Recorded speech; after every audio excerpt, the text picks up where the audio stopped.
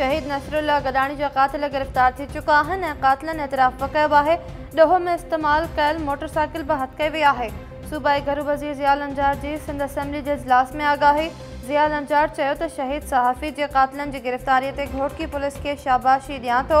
सिंध सरकार पारां ॾोहनि खे रोकण ऐं ॾोहारियुनि जी सुञाणप लाइ कराची, हैदराबाद ऐं सखर जे टोल प्लाज़नि ते कैमराऊं लॻाए वियूं जनवरी फेबररी ए मार्च में स्ट्रीट क्राइम घणो हो हाँ ॾोहनि में घटिताई अची वही है